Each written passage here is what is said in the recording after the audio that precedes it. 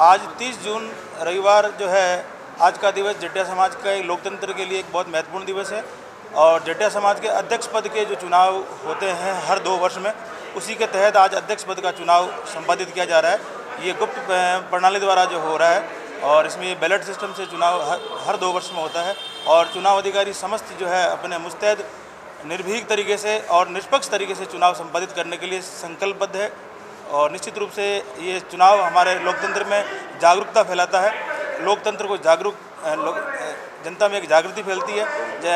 समाज के प्रति जो एक जवाबदेही बनती है इस प्रकार जो है धूमधाम से जटिया समाजी उत्सव मनाता आया है। अध्यक्ष पद के लिए जो है दो प्रत्याशी है। पहला नंबर अर्जुन जी बोरा साहब और दूसरे हरचंद जी जो निवर्तमान अध्यक्ष हैं वो दूसरी बार चुनाव फाइट कर रहे हैं।